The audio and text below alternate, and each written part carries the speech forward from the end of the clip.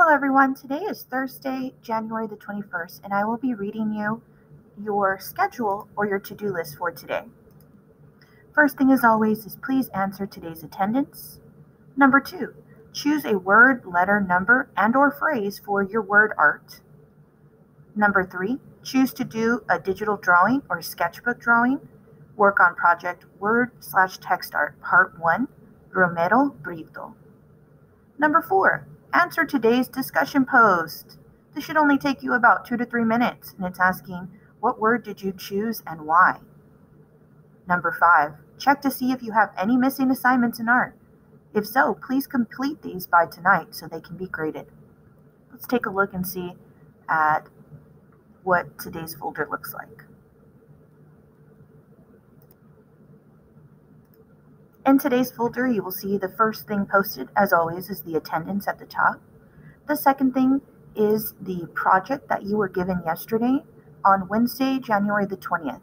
This assignment will be due next Tuesday, January the 26th. It should take you about one to three class periods to complete, which equals to about 20 to 40 minutes. In this assignment, there is a video you can watch if you were absent yesterday.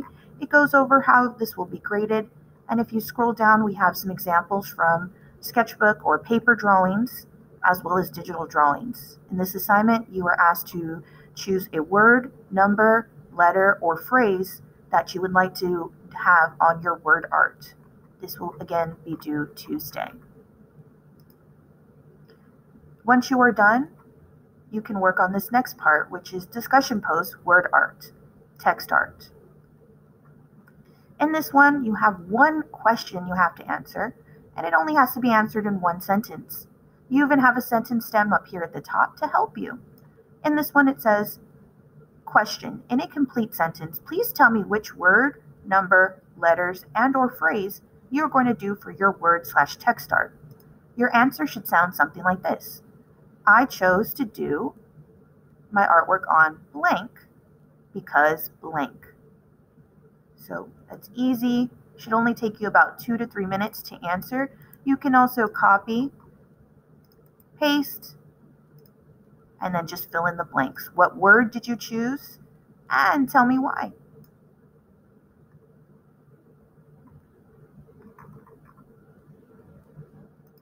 Finally, you will see at the bottom there is a, a, link you can click on how to draw letters if you're drawing in your sketchbook. We went over this yesterday on Zoom as well as this was inside of Schoology. And there also is the early finishers, which I will post the um, extra credit assignment for the yearbook. That will be posted in here. Okay, artists, you know what to do. Make sure that you check off everything you see on your list so that way you don't have any work that you owe me. Have a great day and see you soon.